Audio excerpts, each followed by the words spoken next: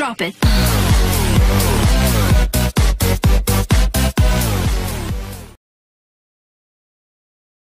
Hello everyone, this is Miss Maria from DWIN Technology. Today's tutorial is about how to set slider and slide adjustment. Let's back to the software interface. Here is the slider module. Click Dropbox. The VP address is the same with the data display. Here is 1010.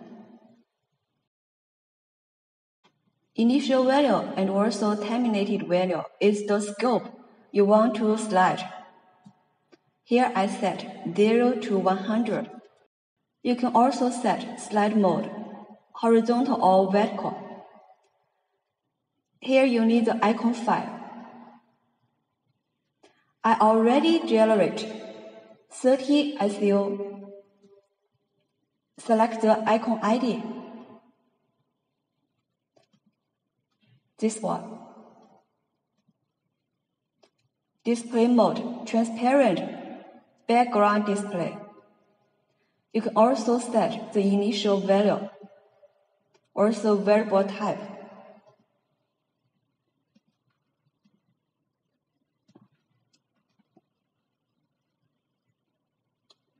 Click slider adjustment.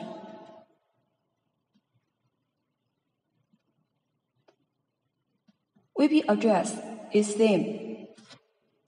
1010. Value return type. You can set same with the slider. Also the data display. Direction. Start value and also the terminate value. Same with the slider.